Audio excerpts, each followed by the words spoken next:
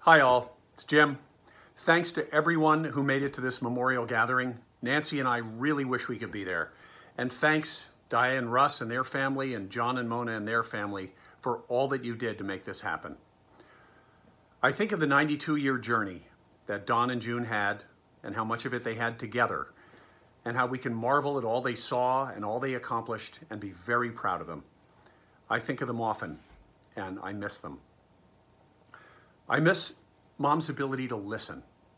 She taught us a lot about how to be empathetic people, to put ourselves in other people's shoes and think about what they were feeling.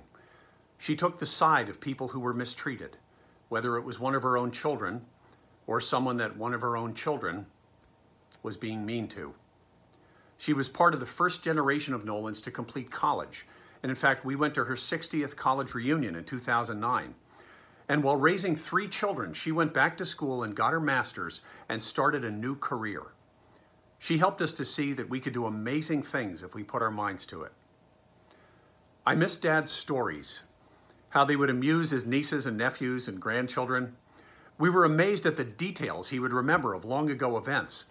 He remembered that when Orson Welles did his infamous War of the Worlds radio, radio broadcast, and people thought it was a real invasion from Mars, his parents came upstairs and sprinkled holy water on their children.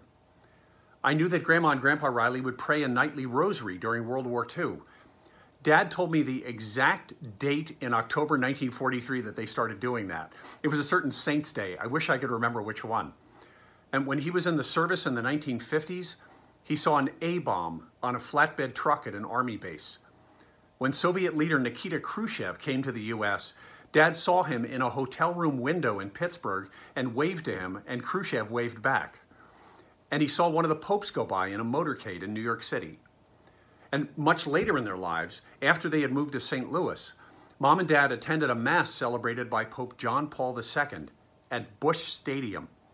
Thanks to their neighbor who had season tickets, they heard the Mass from a luxurious skybox and had communion delivered right to the skybox door.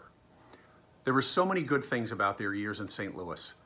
Satisfying jobs, a beautiful home, more time with the Fentons, the means to travel, volunteer work that changed a lot of people's lives. And it was toward the end of those years, at their 50th anniversary party, that they met Nancy, who later became my wife. I was so glad they had those years. And when things got tough later, we can thank Diane and Russ and Riley and Grace and all they did to make those last years more comfortable and happy. Mom and Dad made sure we knew our families. When we were kids, we visited our grandparents in Youngstown, Ohio and Queens, New York. We visited our Nolan cousins in Pittsburgh, our Fenton cousins in Columbus and Kansas City, and we had many holidays with our McAllister cousins who lived right through the woods in New Jersey. And they all came to visit us, even one time our Reilly cousins from California. Mom and Dad taught us so much about the good things that come from hard work. They taught us how to be citizens and neighbors and family members and friends. They got along with just about everybody.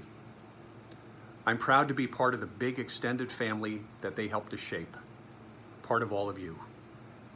Nancy and I hope to see you soon.